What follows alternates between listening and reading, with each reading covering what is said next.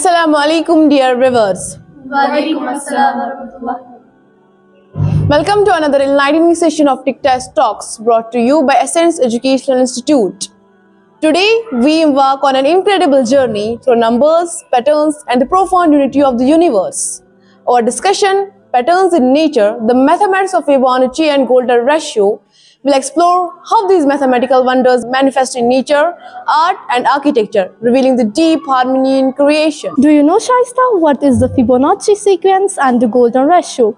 Alright, let's start with a simple question. Have you ever noticed some things in nature just look right? A sunflower, a seashell, even the spirals in galaxies. There's something beautifully consistent about them. Well, that's where Fibonacci numbers and the golden ratio come in. Sister Munaza, let me explain what actually Fibonacci sequence and the golden ratio is. Fibonacci sequence is a spatial pattern of numbers where each number is the sum of two preceding ones. It goes like this 0, 1, 1, 2, 3, 5 and so on. Now, if you take two consecutive Fibonacci numbers and divide the larger by the smaller, you get a number that gets closer and closer to 1.618, which is known as golden ratio. Ikra, let me talk more on golden ratio.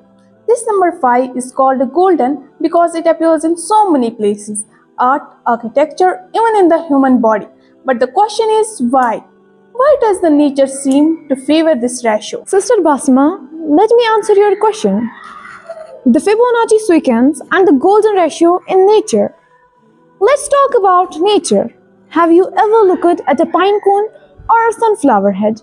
If you count the spirals in one direction and then the other, they almost always follow the Fibonacci sequence like the 34 spirals in one direction and the 55 the other. Yes, Kubra, it's not just plants. Look at a nautilus shell.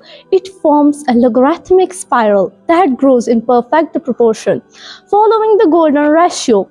Even hurricanes and galaxies form similar spirals. Sister Munaza, did you know our own bodies are built on these proportions? Our fingers, the ratio of our forearm to our hand, even our facial features align with golden ratio. It's as if universe follows blueprint. Sister Ikra, this reminds me of a beautiful Quranic verse. Verily, we have created all things in a due measure. It's incredible how Allah has designed everything with a mathematical precision. Let me add something more. The Fibonacci sequence and the golden ratio in art and architecture. Let's move from nature to human creativity. Did you know that Leonardo da Vinci used the golden ratio in his famous artwork, The Vitruvian Man? Sister Kubra, not just a Da Vinci, ancient civilization used it too. The Great Pyramid of Giza, the Parthenon in Greece, and even Islamic geometric patterns found in mosques all reflect these proportions. Shaista, it's not just older buildings. Modern architects use it too. Many famous structures like the Taj Mahal and the Sydney Opera House incorporate the golden ratio to make them aesthetically pleasing. Sister Munaza, that's fascinating and it makes sense. Humans naturally find balance and symmetry beautiful and this ratio is a reflection of that universal harmony. And speaking of divine proportions, did you know that Kaaba in Makkah is believed to align with the golden ratio? If we take the distance from the North Pole to the Kaaba and the distance from the South Pole to the Kaaba, their ratio is approximately 1.618, the golden ratio. And even more fascinating if we look at Surah Al-Imran, chapter number 3, verse number 96, where the word Bakka, another name of Makkah, appears, we found something incredible.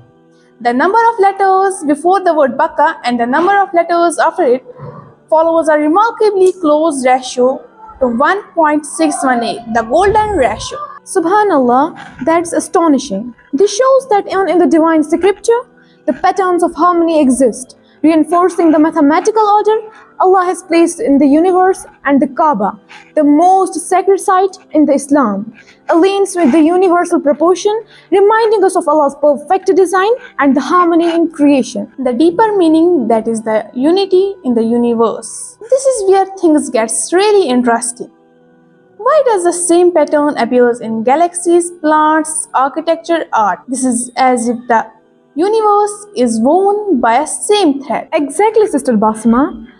This shows that mathematics isn't just about numbers, it's about understanding the deep order and balance in creation. The Fibonacci sequence and golden ratio are the signs of unity in diversity. Sister Kubra, that didn't you point to something greater? In Islam, we believe that Allah is Al Musawwir, the fashioner, and Al Hakim, the wise. Every pattern, every proportion, and every mathematical truth is a reflection of divine wisdom. Yes, it reminds me of another Quranic verse. Indeed, in the creation of the heavens and the earth, and the alternation of the night and the day, are signs for those of understanding. Surah Al Imran, chapter number 3, verse number 190. Everything is interconnected by a divine design. Munazza, I think we should conclude now. Yes, Shaista. So, what we have learned today, the Fibonacci sequence and the golden ratio are not just mathematical concepts. They are the universal principles that govern everything around us.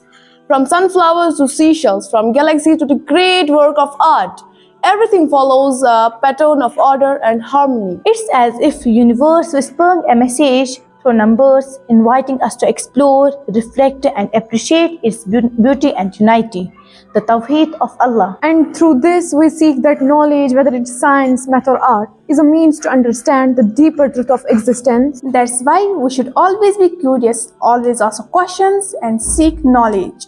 As Prophet Muhammad, peace be upon him, said, Seeking knowledge is an obligation upon every Muslim. Jazakumullahu khair for joining us on the journey of numbers, patterns, and divine wisdom.